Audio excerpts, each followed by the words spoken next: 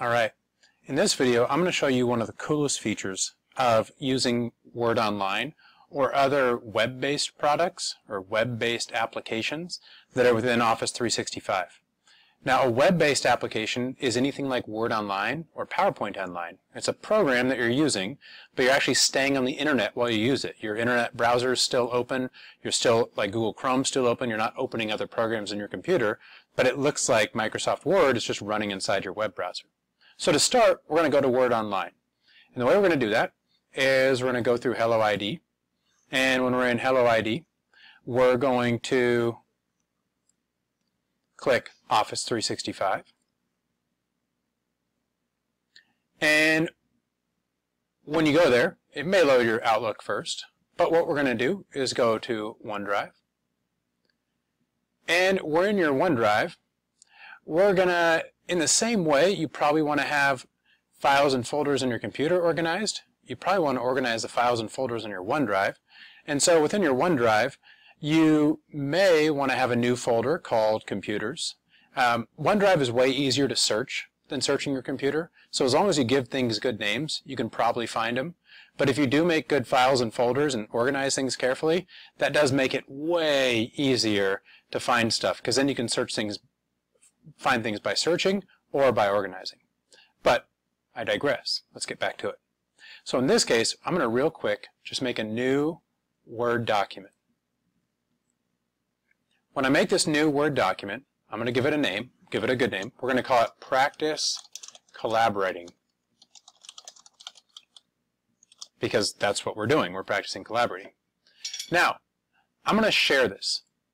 There's a variety of ways to share something with another person from Word Online. Um, you could send a link. You could type the name of someone. If you type someone's name here, it works just fine, except that it just gives them an email. It sends them an email. So if they know the email is coming, that's great. If they want to go check their email, that's cool. What we're going to do is copy a link. So I want you to hit copy link. Now, when you hit copy link, it makes this link that you can copy.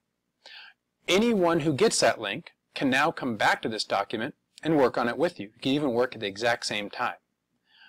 However, if you look down here, it says only people in the Snohomish School District can link can view. Well, that means view, they can just see it. They can't actually work on it with you.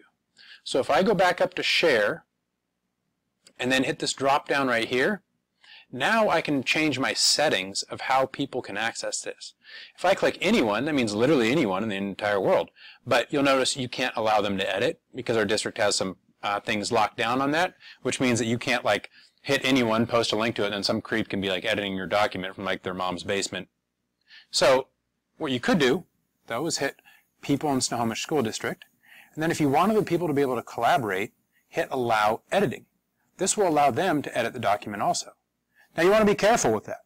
You only want to send links of documents that allow editing to people who you trust, because that person could ruin your whole project if it was a project you're working on. Hit apply. Now hit copy link, and then hit copy. So what we're going to do is go back to Canvas and hit submit assignment. For the website URL, hold control and tap V, and that pastes the link of the document in there. And then you can submit the assignment. Now when you're done submitting the assignment, you can be done. But if you'd like to see how this works, if you want to see how two people can actually work on the document at the same time, come up and talk to me. Just get up out of your seat right now, come over and talk to me as soon as you submit the assignment, and I'll look at it, I'll log into it, and I'll tell you to open this up too, so try not to close it before you come sit come see me because it'd take a while for you to open it up again. And I'll show you how you and I can both be sitting there typing in the same document at the same time, working on it together. It's pretty cool. It's not a mandatory part of the assignment. All you need to do is send me a link to finish the assignment. But if you want to see how it works, I'll show you.